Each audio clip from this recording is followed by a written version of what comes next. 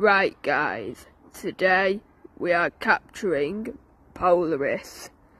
Yeah. It is a star, you know, yeah. Yesterday I captured Jupiter. It was right over there, so today we are capturing Polaris. Let's go. Right now, guys, there is Polaris right there.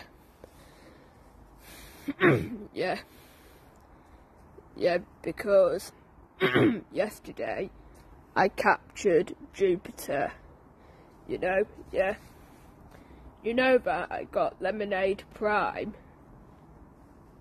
Yeah. I'll show it you. This is how I got Lemonade Prime on Thursday, yeah. Anyways, bye bye.